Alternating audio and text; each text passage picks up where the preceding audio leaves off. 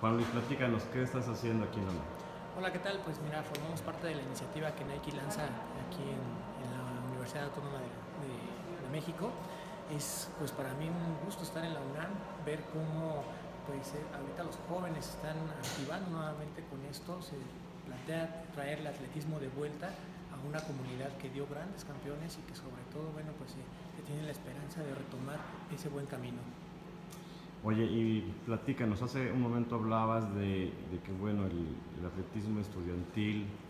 antes este, forjaba muy buenos atletas en México y se ha perdido un poco, pero tienes la esperanza de que esto renazca. Sí, es un punto de encuentro donde la juventud y el deporte pueden nuevamente, es muy importante que, las nuevas generaciones tengan el conocimiento de lo que fue esta casa de estudio y que en la época de los 80 y de los 90 fue donde mejores atletas se mostraron, tienen realmente la capacidad para volverlo a hacer y Nike se está sumando a este esfuerzo y yo como un atleta pues también estoy a, la orden. Hoy hablabas de, tu triunfo en Toronto, esa, esa victoria panamericana y de lo triste que fue no ir a Río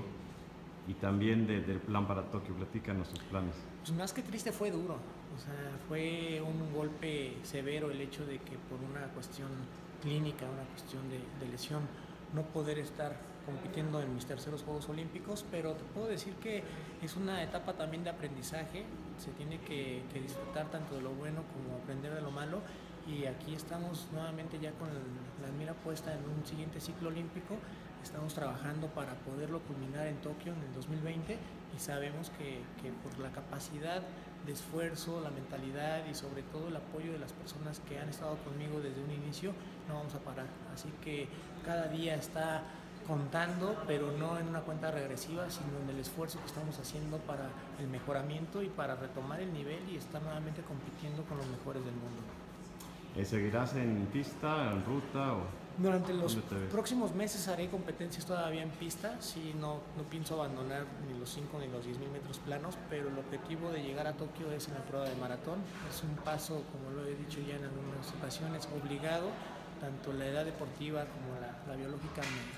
me, invitan a hacer este último esfuerzo para los 42 kilómetros y también es un deseo que, como atleta me quiero dar, es el, el, hecho de haber crecido con toda esa parte de, de, ejemplo de los maratonistas mexicanos y el que yo crecí viéndolos, viendo sus triunfos y sobre todo el deseo de que algún día también quería de algún modo hacer una prueba exitosa de los 42 kilómetros. Un mensaje final para todos los corredores que nos están viendo que tengan un excelente 2017, que los que comenzaron ya compitiendo durante este primer bimestre del año continúen con ese ritmo y los que tienen por llegar sus mejores competiciones, que están pensando en los maratones de, primavera y de verano, que tengan muchísimo éxito y sobre todo bueno que cada quien cumpla con sus objetivos y sus metas durante todo este año. Gracias. Hasta luego.